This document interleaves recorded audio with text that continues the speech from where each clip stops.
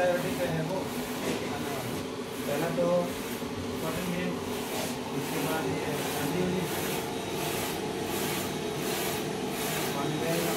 हाँ मतलब सब आते हैं कर सकते हैं।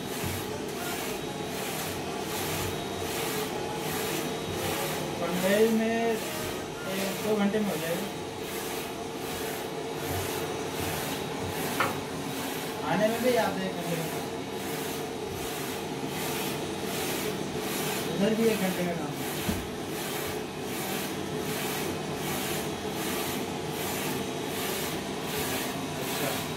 अच्छा।